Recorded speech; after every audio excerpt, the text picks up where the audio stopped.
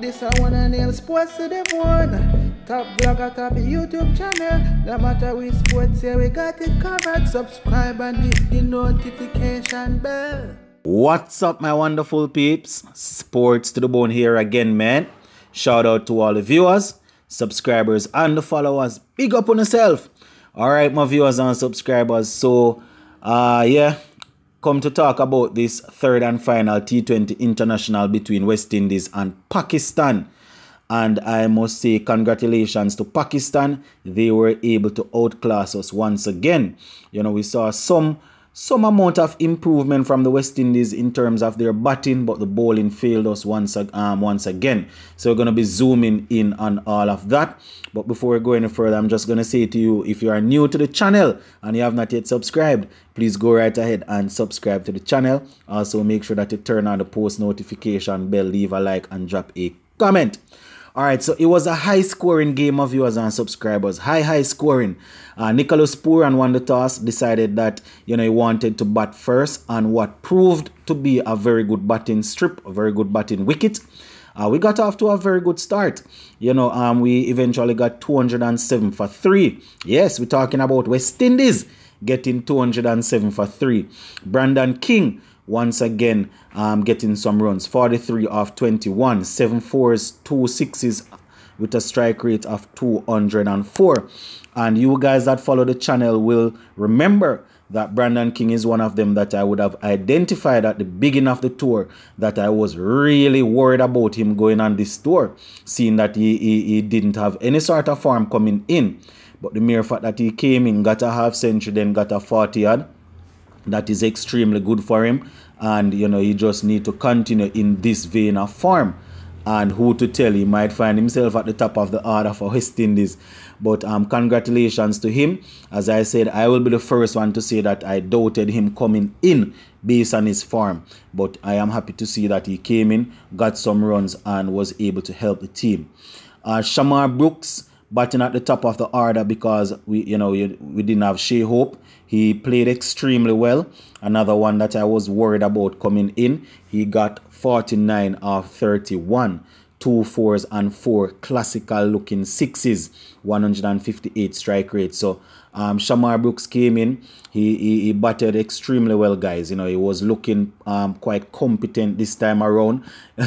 We would have seen him in pre in previous game game um when he went out there. Seems as if he did not have a clue but he was able to go out there and do his thing. Albeit um a step down in the quality of the bowling, but we are not even going to point out that, that Haris Rauf and Shaheen Shah Afridi weren't playing because at the end of the day, this is not our first string team either. So we play what is in front of us. So congratulations to Shamar Brooks also. Now, Nicholas Pooran, our captain, he was finally able to tee off somewhat and he got uh, 64 of 37, two fours and six sixes with a strike rate of 172.97. So Nicholas Pooran, you know, um, finally playing a captain's knock, top scored for us. Uh, Darren Bravo, yeah man, he came in.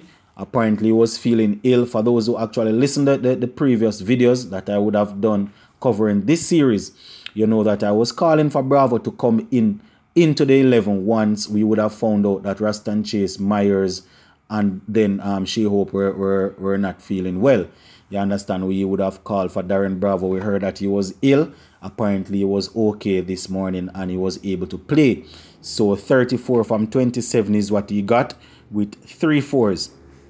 And he remained not out. So Darren Bravo coming in and doing his thing. He got off to a really slow start, but was able to pick it up somewhat and finished with a strike rate of 125. Rovman Powell, he also remained not out 6 off 6. So that is basically where we finished um, our viewers and subscribers. 207 for 3 off the 20 overs. But in terms of the batting, I must say that these guys, they really settled down and they batted well. They played the ball on its merit, especially Brandon King and Shamar Brooks. They looked well. They looked good. You know, Nicholas Pooran came in and, and did his thing you know, and we were able to get all the way up to 207. As I said, it's on high scoring ground, you know, it's known to produce um, around runs runs like that. So congratulations to them. A couple of the Pakistan majority of the Pakistan bowlers were roughly treated. You know, only only Dahani wasn't really treated too roughly. You know, he had some very good um very good deliveries. He bowled four overs for 23 runs with one wicket. Mohamed Wasim got four overs. He went for 44, got two wickets. You know, the other bowlers, um, as you can imagine, they didn't take any wickets, but they traveled. You know, um, they really traveled. Mohamed Hasnain, he went for 49. Uh, a couple of youngsters they brought in a couple of youngsters but they they bowl at good pace just the same you know talking about in the high 140s even though they are not first team players so they came in and they were able to represent their their team um, well so there you have it my viewers and subscribers that is what our batting looked like now going down to pakistan i want to tell my viewers and subscribers we were the, our bowlers they went back to the same sort of line and length that they bowled in the first T20. You know, the second T20 where we lost by nine runs, the bowling was way, way better. I know um, we were without Akeal Hosein today. Gudakesh Motie came in and he didn't do too badly at all. You know, playing his first game for West Indies uh, here, he bowled uh, four overs for 29 runs and he could have had a wicket. A catch was put down by Nicholas Pooran. So him coming in, that, that wasn't too bad. He wasn't as as sharp and slick as a Akeal Hosein, but he was good bowling nonetheless. It was our um, seam bowlers that once again, you know, let us down. Yeah, man, they let us down big time, especially Romario Shepherd. Romario Shepherd bowled 3.5 overs for 53 runs. 53 runs and he picked up one wicket. So I'm not saying that Mohamed Rizwan and Babar Azam are in quality, but you have to bowl, you have to be consistent in, in bowling good line and length. You understand? You can't just feed them the deliveries. And I watched the game from start to finish, and I can tell you a lot of the runs that these guys got, you know, they got it in the slot, in the slot. You know, um, Drakes, Dominic Drakes, he st- he started off. You know, he didn't start too he didn't start off too bad at all. He bowled four overs, but then he got got up. He, he went for 37, got one wicket. Um, Odean Smith wasn't um wasn't too too too economical either. Three overs, 34 runs, one wicket.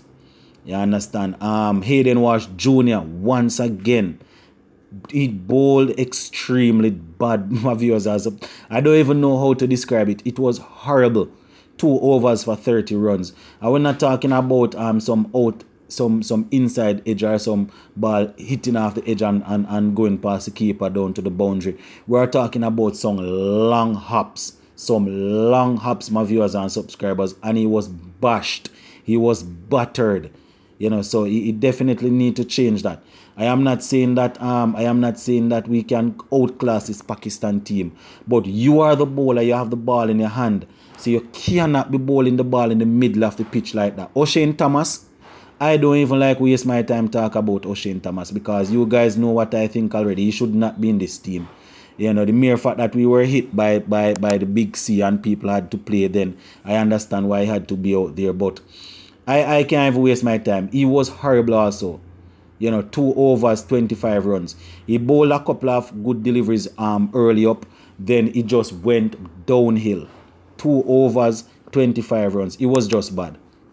It was bad. And I know we have a bunch of young players, new players coming in, and I don't expect them to just come and outclass Pakistan. But my issue is with the bowling. The guys need to step it up, man. You cannot be bowling so many short balls you understand? I know that the leagues that you that you were playing in, they are not as high as this. You know, but but at the same time, bowling a good line and a good length, you know, that that can be too too that can be too too difficult. You understand? That is why when we see these guys bowling down people in the T10 league and, and you don't see, see, see us running up and down behind it, you know, we, we, we know why funny enough, you know, some of us um, West Indian people are. When we see our favorite players over there smashing sixes and smashing fours, we are going to say, yes, man, these guys are ready. The league is good. The league is good. Bowling is bowling. But when they come here now, you get to realize what is happening. And as I said, I am not marking them too hard because they went out there, they played against the number three ranked team, Pakistan that is.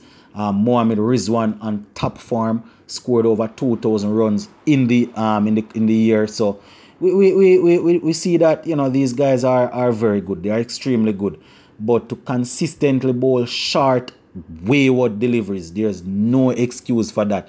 You better you try and bowl the ball on the top of half stump and the man kill it with some classical shots. When you're gonna bowl pure wide down the leg side and all of them sort of things, you know that that is just um, atrocious. We can't work with that. But um, all in all, we are indeed happy that yeah, the ranting is finished. I finished rant. but all in all, we are indeed happy that the series, you know, the guys were able to go out there and compete um, complete the series. We are indeed happy that we would have gotten a chance to watch some cricket. Uh, some of the youngsters that we were saying need to get the opportunity. They got the opportunity. The Odean Smith and the Dominic Drakes you understand? They didn't set the place alight, but um, they, they will get better. And as I said, my viewers and subscribers, these guys need to play when they have um, a couple of senior players around them that can really help to shepherd them. Uh, Pooran's captaincy, it wasn't too bad. Uh, you know, I, I didn't see where making any big, big blunder um, in terms of his field placing and the rotation of his bowlers. Um, the only thing that um, in third and final game here uh, that he tried, he tried to bowl, well, he bowled out Gudakesh Motie, you know, and I mean, coming in and, and, and really bowling so many overs at the top in the power play is not easy. Guess he was trying to play the Akeal Hosein role. Uh, but separate and apart from that, it wasn't too bad. It's just that the bowlers, man, the pace bowlers especially, they they were really, really bad. They bowled extremely bad.